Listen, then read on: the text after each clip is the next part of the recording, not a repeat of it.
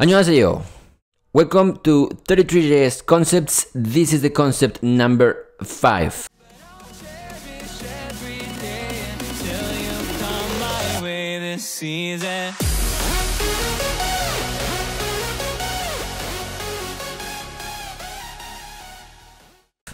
Uh, we already learned the double equals and the three equals, so we're gonna move on to type of, and I am going to add one more here. That is a surprise later. Alright, so let's get started. Type of. What is type of? Usually on JavaScript, you need to check for types. You need to know if something is a boolean, if something is a type, uh, a string, if something is a number, and whatever. So how does type of works? It's just very very simple. The way it works is that you just type type of and then the name or, or, or, or the variable that you want. So for example, I don't know, type of 11112, that will be a string. So this tells me just the type of whatever I'm doing. All right, so I could do the same thing, type of true, that'll be type of boolean, and it just tells me if I do, I don't know, function, let's type function. That'll be type of function, so I will know stuff. Um, type of works for most of the primitives. So for example, number, yes, uh, boolean, string, uh, what else? That's it. Undefined, I think. All right. So if you're ever, if you ever need to check something, like what type is it, you can just do type of. Also, type of works by doing this. All right. This also works. Uh, if you like it more with the parentheses, like, I don't know what's better, if you do type of true or if you do type of true. Both of them work and both of them are the same. So it really just depends on your taste. Now, there is a long ass bug on type of, and that bug is that type of null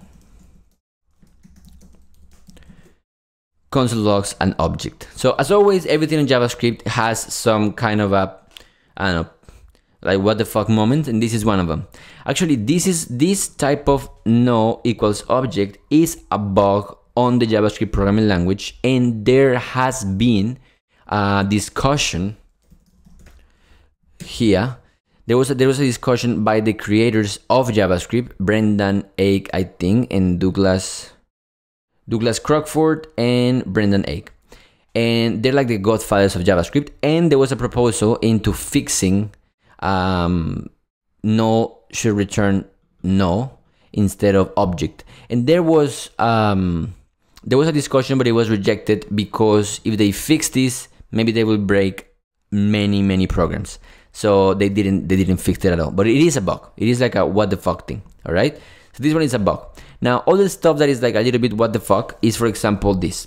If I do type of as a array, I get object. If I do type of object, I get object. Both of them, they will both give me objects. And this is not good.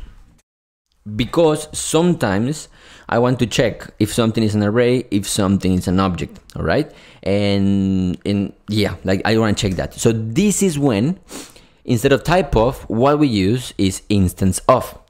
So instance of works like type of, except that it doesn't work for the primitives. So type of works for uh, string, boolean, undefined, uh, number, whatever, but instance of doesn't work for them, but instance of works for objects and arrays. So for example, here I can say array instance of array, and it will say true. All right. And if I take an object, for example, it's not true. So instance of allows me to check by the constructor. This is a constructor. People don't know this, but in JavaScript you can also do something like my array. You can do this, or you can do new array. And it'll be the same thing. Okay? So in this case, Object is not an instance of array. In this case, it will be an instance of object. Let's see if it works. And it works. And now we get into the what the fuck zone. So if I do this, let's see what happens. Instance of a string. No, for some reason. If I do true, instance of boolean. For some reason, true is not an instance of boolean.